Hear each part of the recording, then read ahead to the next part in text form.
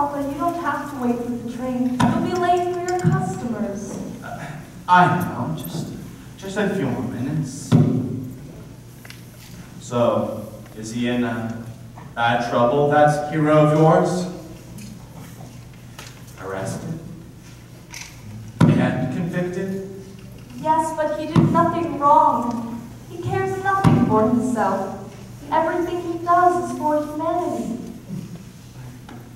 But why won't you tell me where he is now, this Joseph of yours? It's far, Papa. Terribly far.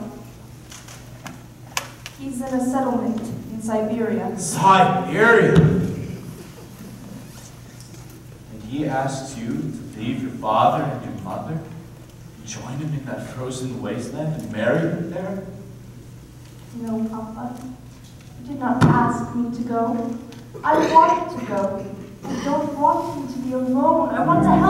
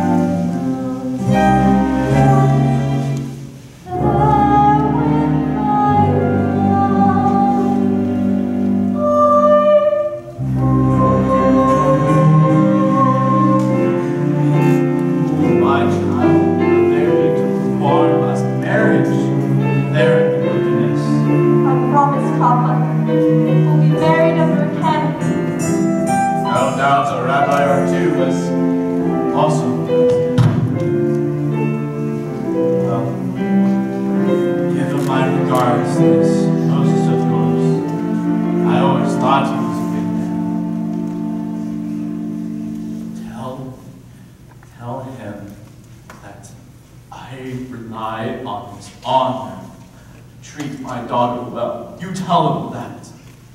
Papa, God alone knows when we shall see each other again.